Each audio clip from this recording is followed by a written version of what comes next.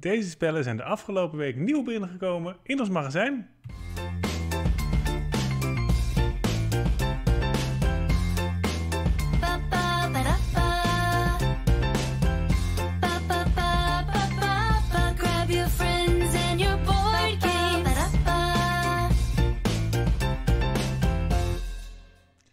Er is een behoorlijke stapel, dus laten we gelijk maar eens gaan kijken wat er allemaal is binnengekomen. Het is behoorlijk veel omdat het het begin van het najaar is. En dat betekent altijd dat er meer releases zijn dan in de rest van het jaar.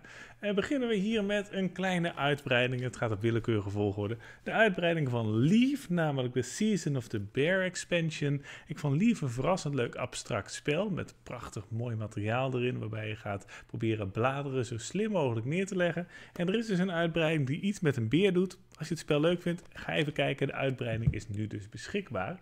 Dan is ook beschikbaar Star Wars The Deckbuilding Game, de Clone Wars Edition. Dat is een op, zel- op zichzelf staand spel in het universum van Star Wars The Deckbuilding Game. En die vonden wij verrassend leuk, moet ik zeggen. Het is een twee-spelerspel. Je doet er ongeveer 30 minuten over. En je hebt wederom 50 unieke kaarten. Je hebt iconische basissen die je kunt kennen uit de film. Dus als je houdt van Star Wars, zelfs als je niet houdt van Star Wars, zou ik zeker even kijken naar deze nieuwe Star Wars The Deckbuilding Game. Want het is gewoon een heel goed deckbuilding spel.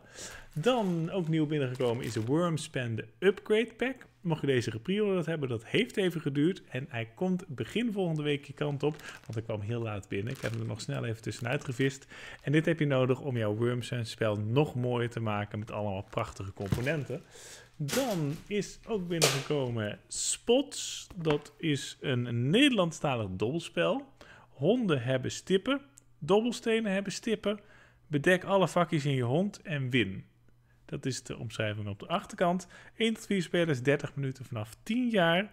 Het is een spel met dobbelstenen, geluk en honden. Nou, klinkt als iets voor jou. Ga dan zeker even kijken naar Spots. Dan ook nieuw binnen is Nederlandstalig ook. Survive the Island is voor 2 tot 5 spelers vanaf 8 jaar en je doet er ongeveer 45 minuten over. Het gevaar ligt overal op de loer en weet jij te overleven. Wat je gaat doen, het eiland zinkt. Dat is een nadeel. Je moet eh, veilig terug proberen te keren en je moet oppassen voor monsters. Die maakt het blijkbaar niet uit dat het eiland zinkt, maar die gaan wel achter jou aan. Wie had ooit kunnen vermoeden wat dit eiland allemaal verborgen hield? Angstaanjagende monsters, vuurspuwende vulkanen, gevaarlijke vijanden. En nu zakt zelfs de grond onder je voeten weg. Je moet hier zo snel mogelijk weg zien te komen. Maar dat is makkelijker gezegd dan gedaan als iedereen zijn eigen hachje probeert te redden. Hm, ik best interessant. Survive the Island. Dan een antwoord op Hitster is Remember the Music.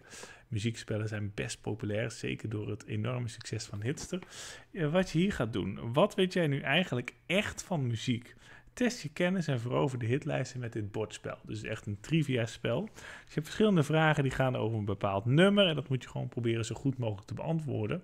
Ja, ik hou altijd wel van muziekspellen. Dus als je dat ook hebt, kijk er even naar. Het is Nederlandstalig, ondanks de Engelse titel. De nieuwe Marvel Champions uitbreiding, de Hero Pack, is Nightcrawler. Eh, hij heeft gewoon weer een standaard deck. Eh, blijkbaar zit er een uh, in die Azazel heet. Nou ja, als je houdt van Marvel Champions, met deze kun je het nog wat uitgebreider maken. Zombicide heeft ook een nieuwe editie, namelijk de Army of the Dead editie. Ehm, nou ja, dat ziet er allemaal weer dramatisch uit met een hoop miniaturen. Het, ehm, de wereld is niet geëindigd toen de zombies kwamen. Dat is fijn. Eh, het is zo goed als mogelijk in, eh, in, in gevangen gehouden, de zombies. Maar goed, op dit moment gaan er wat dingen mis. En jij moet dat proberen tegen te houden in Zombicide. Eh 1 tot 6 spelers vanaf 14 jaar. Je doet er een uurtje over en Engelstalig.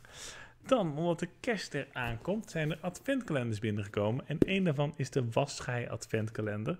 Daar zitten dus 24 puzzels in. Dat je elke dag voor kerst ga je een puzzel maken. En zo'n puzzel heeft 54 stukjes. En bij elke puzzel is het, net als bij normaal bij Wasschei, dat je niet precies gaat maken wat er aangegeven staat op de doos. Maar je gaat doen wat de mensen zien die op de doos staan. Dus je moet eigenlijk een beetje omdenken, omdat je nooit precies weet wat je aan het maken bent. White Robin Games heeft heel veel releases per jaar, zelfs per week. Deze week hebben ze er drie, namelijk Collect a Zombie en Collect a Lottel.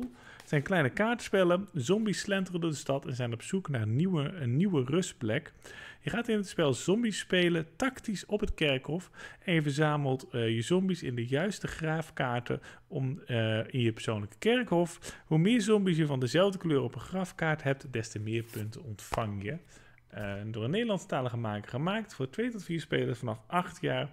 En je doet bij beide versies er zo 20 minuten over. Als ik het zo zie, zijn ze semi-gelijk, maar vast ook voldoende verschillend. We gaan ze in ieder geval nog spelen. Ehm, als je alle micro-macro's hebt, dan is deze uitbreiding een aanrader. Want dit is Micro Macro Crime City, de bonusbox. Hier zitten verschillende kleine casus in die nog nooit eerder officieel zijn uitgegeven. En, en dat vind ik heel tof, er zitten drie epische scenario's in. Wat je dan moet doen is alle kaarten pakken uit alle delen van Micro Macro. En er zitten dus casussen in die over alle kaarten heen lopen. Dus de moeilijkste casussen ooit. Zo'n casus heeft, ik zie het hier bijvoorbeeld soms wel 31 kaartjes die je op moet lossen. Dus je altijd denkt, micro macro, dat is voor mij veel te makkelijk. Dan moet je dit gaan spelen, want hier zitten dus drie zeer lange casussen in. Dan, in de wereld van Disney Villainous is er weer een nieuw spel. En het grappige is, ook een beetje flauw, hier zit eh, een extra promokaart in van Disney Locana. Compleet ander spel, zelfde uitgeverij, wederom Disney. Disney Locana is een trading card game, heeft niks te maken met Disney Villainous, behalve dus dat er een promokaart in de doos zit. Disney Villainous is een spel waarbij je een van de bad guys speelt en je gaat proberen de andere spelers te verslaan. Het is competitief. Eh, als ik het goed onthouden heb, is dit in principe niet een heel ander spel dan de Disney Villainous versies die al beschikbaar zijn, maar zou deze net wat makkelijker instapbaar moeten zijn. Dus als je alles al hebt, kijk even goed wat erin zit, dat je hem niet blind koopt, want dan kan het zijn dat je dingen dubbel hebt. De Engelse versie is uitgekomen van Let's Go to Japan, gemaakt door Josh Wood, die je onder andere kunt kennen van Cat Lady. Dit is dus nogmaals de Engelse versie. Als je de Nederlandse versie gepreorderd hebt, die komt later dit jaar. Ik heb geen specifieke datum, maar die komt eraan. Maar dit is dus de Engelse versie die nu wel beschikbaar is. En in dit spel ga je op dagtrips door Japan heen en ga proberen zoveel mogelijk punten te verzamelen. We hebben hem zelf ook al in de collectie, dus uh, we gaan zeker nog even kijken hoe leuk het is, want de beoordelingen zijn al heel goed. Er zijn nog twee spellen waar ik het over met je wil hebben. De eerste daarvan is Nocturne. En dat is dus niet Dominion Nocturne, uitbreiding van Dominion. Nee, dit is het bordspel Nocturne. En dit is van het team wat ook Calico, Cascadia en Verdant heeft gebracht. Ziet er heel anders uit. Het is wat duisterder. En in dit spel ga je wederom op je eigen spelersbordje allemaal tegels neerleggen en fiches. Um, je, gaat een van de, je gaat rollen nemen van een van de Vos mystieken. En je gaat proberen spells en andere items te verzamelen in het bos. Dit is dus de Engelse versie. Ik weet even niet uit mijn hoofd 100% zeker of die in het Nederlands uitkomt. Maar over het algemeen pakken we uit Golden Games dit wel op. Dus waarschijnlijk wel. Maar nu is in het Engels beschikbaar Nocturne.